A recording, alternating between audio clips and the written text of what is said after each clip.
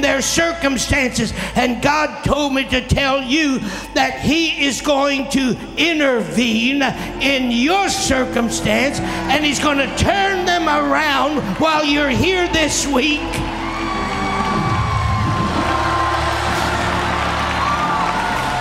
And because you will see him turn them around, you will know. Put it down in your spirit.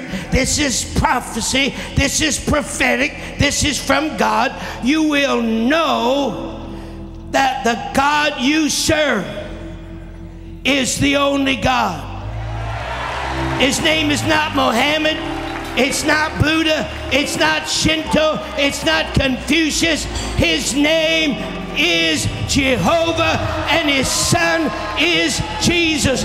And you will know because he's come into your circumstance and he's turned them around. And when you see him work for you, you will know that he is the Lord, the God of Abraham, Isaac, Jacob, Moses, Daniel, Jehoshaphat, Hezekiah, Jeremiah. That's your.